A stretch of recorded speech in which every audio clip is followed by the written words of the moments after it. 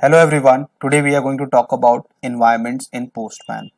So they what are environments in Postman? Let's take a look at the official what Postman says. It is a set of variables that allows you to switch the context of your request.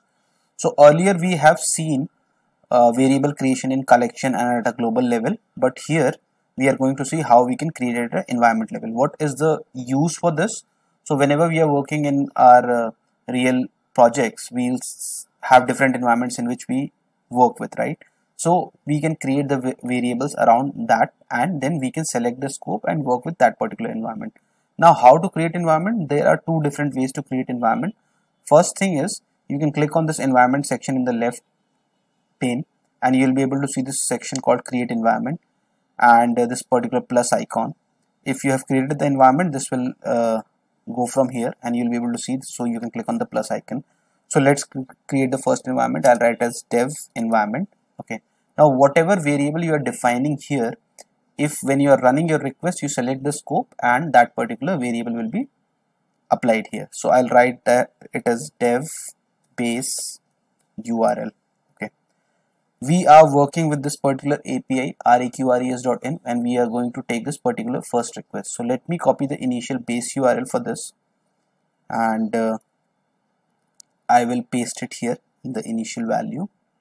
And uh, this is our dev, dev base URL. Now the second way to create a environment is you go to this you see this particular section called no environment.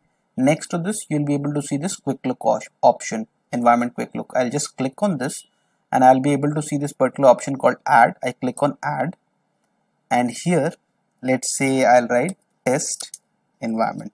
Okay we'll write a variable called uh, test base URL and we'll use the same value here. So I'll write initial value and it'll populate in the current value. I'll click on save. Okay. Now we'll get to the request. So I'll go to my collections. I'll select this particular thing and I'll create a new request. So add request. Now here I am going to copy this first request from req res.n so let me copy this and I'll paste it here. Okay. I'll save this and I'll just see if it is working fine.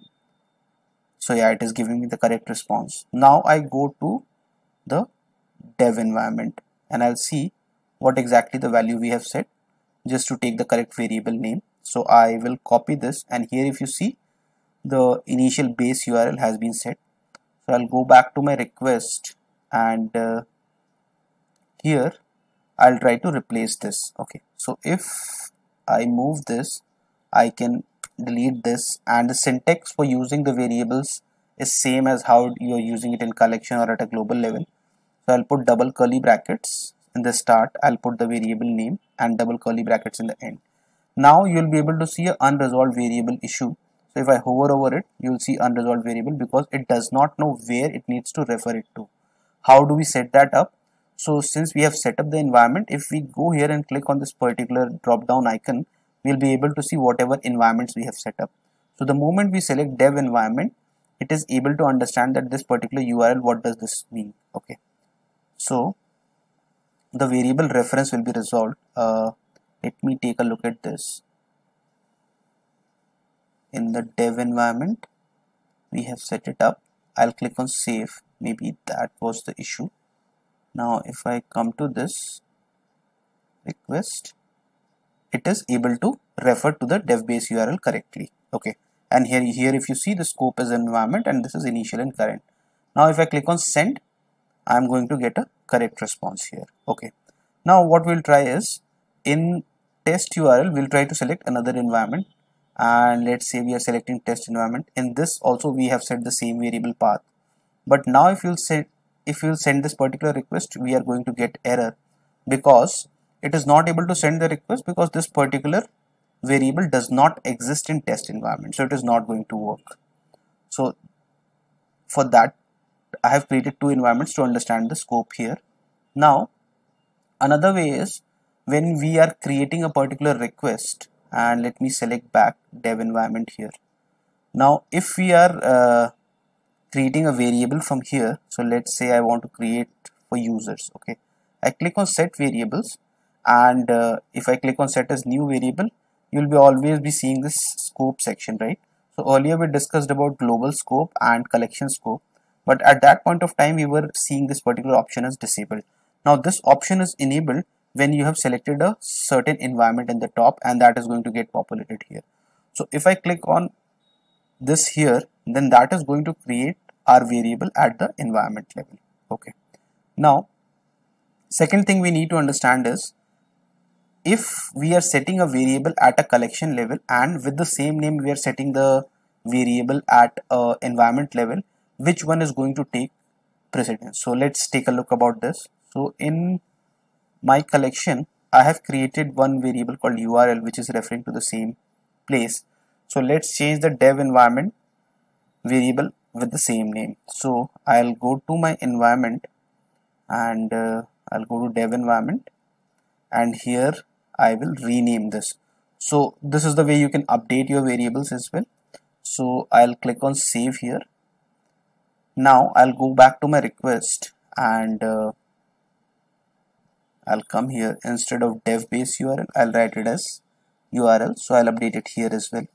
Now see this particular URL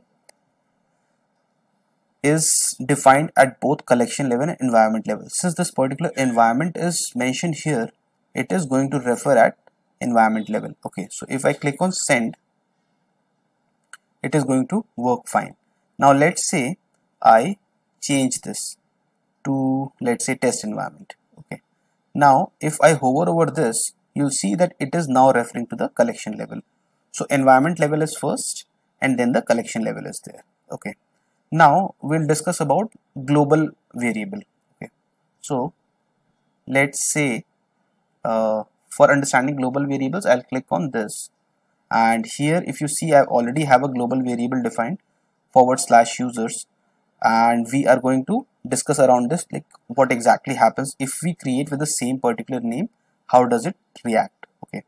So I'll go to my I'll select dev environment here. I'll just save this. I'll go to my environment section and I'll create an, another variable with the same name what exists in global variable. So let's write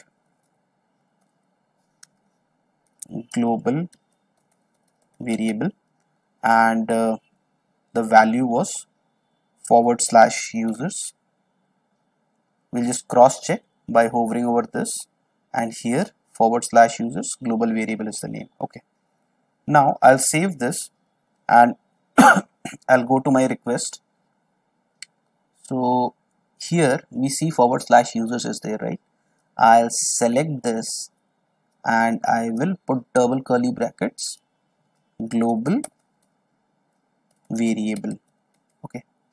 Now the same variable name is set at both environment level and global level. But since we have selected this particular environment it is going to take precedence over global. So if I hover over this you'll be able to see that it is referring the environment variable. Now if I click on send here, we are able to get the correct response. So let's take a look at what exactly is shown in the quick lookup right now. So if I click on the quick lookup, here you see the same variable name is reflected both places, right? But this particular value is striked out. So that means it is using this particular value. Now let's say I change the environment scope. If I change it to test environment or no environment and I click on save, then it is going to refer the global variable value what we have set it up global level so first thing is it takes the environment level is always considered as the highest level and then the global level and then the collection level so this uh, and we can discuss about how to delete the environments and all. So you just go to this particular environment section and let's say I don't want to work with this particular environment I can just click on this and I will click on delete and I'll click on delete here and this will delete my environment. And we can add as many variables as we want here update the variables and use it accordingly in our projects. So that sums up the video for environments uh, in postman. We are going to discuss in detail as well regarding uh, postman and i have uh, other tutorials as well. Uh, so do follow along. Let me know for any feedback. Thank you very much. Have a nice day